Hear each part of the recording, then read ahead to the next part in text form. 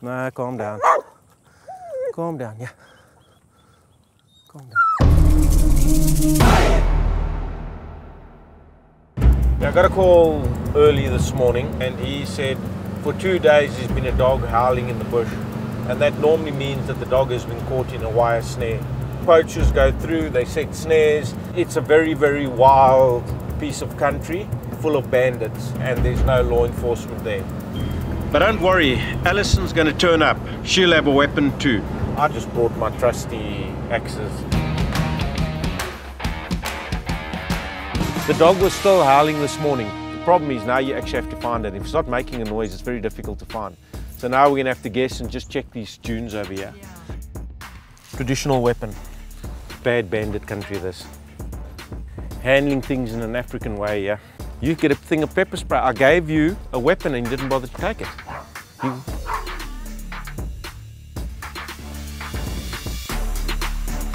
This is my weapon of choice. Comes from my Viking ancestry. We're gonna walk around. Barend, my trusty man, has been a ranger with me from my conservation days. So what you do is you check for the game paths and then you get into the game paths. Right.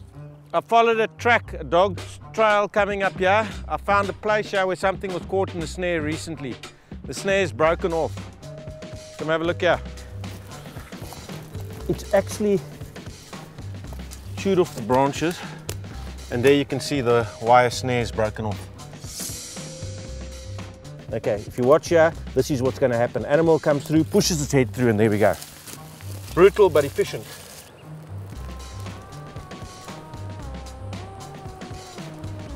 Yep, dog tracks, yeah, with human.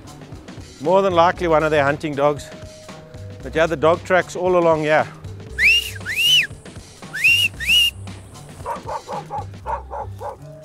We need to find her while she's still barking. It's way too hot out here. Any animal caught in a trap, been throttled by a piece of cable is going to die a really miserable death today. There's dog caught in a snare.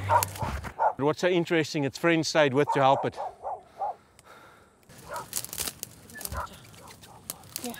Karen, wag net, jy's lastig. Come, yeah.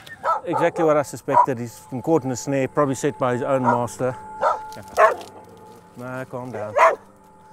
Calm down, yeah. Calm down. We've got to get her to drink. She's been out here for days. I'm going to give her some water.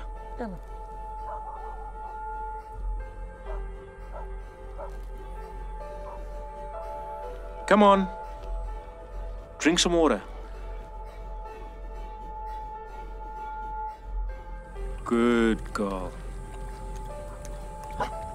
Exactly what I suspected. He's been caught in a snare, probably set by his own master.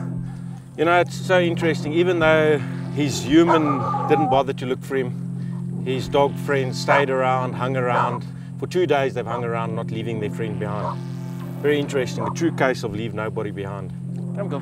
Come on, come on. The snare is obviously pulling tight. So the first thing we're going to do is get a rope around her neck. She's blaming, you see, she's getting hurt, so she wants to fight with us. I don't think she'll calm down. She's fearful for her life. Scared of us, really frightened of us.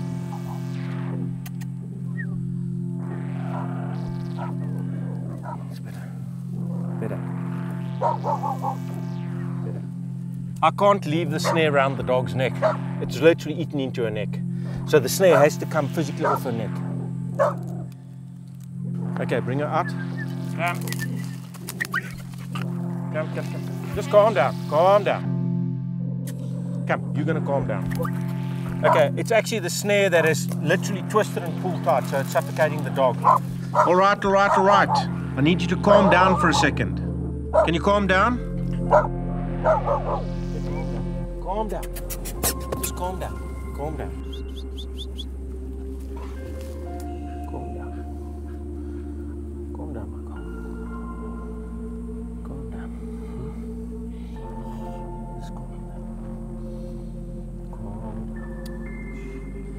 Okay, now she's calmed down. Let's try one more time.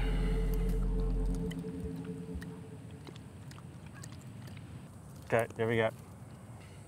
This stuff is unbreakable. They use this even for bush pigs and bushbuck. Now the, the wire's off. She looks happy. I was wrong. I never thought she'd calm down. It's kind of funny that you're actually rescuing the poacher's dog.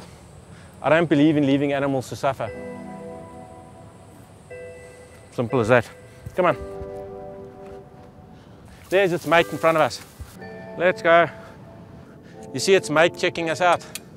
See, that's why I like animals more than people. Look at the amazing bond.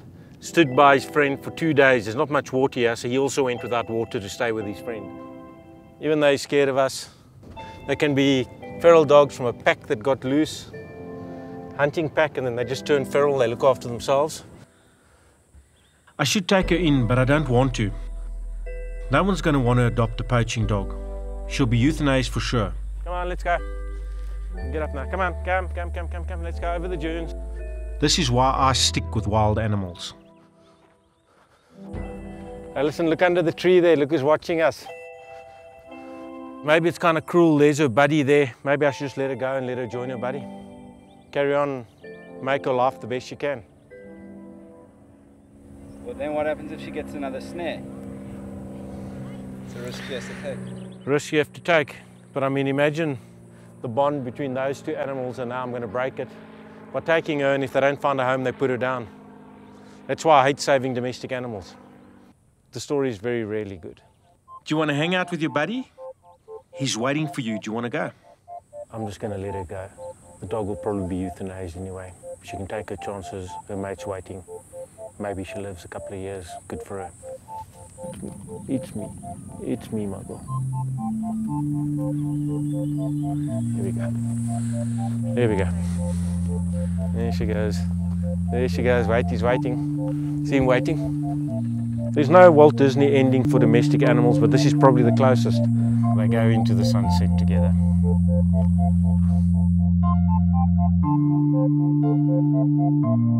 Two weeks later, we went back, and the couple was still around living their lives.